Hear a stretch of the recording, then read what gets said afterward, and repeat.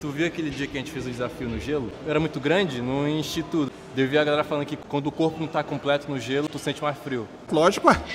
Porque aí você tem um pedaço do seu corpo que tá fazendo troca de calor, né, cara? Se você tá enfiado inteiro até, você não vai sentir. Mais corpo pra fora, tá com mais frio. Mais frio. Porque aí você vai ter uma parte sua que vai estar muito fria e a outra que não vai. Aí você tem um negócio chamado transferência de calor. Aí. Se você estiver enfiado até aqui, ó, aí falam que o segredo na banheira de gelo é você controlar a respiração.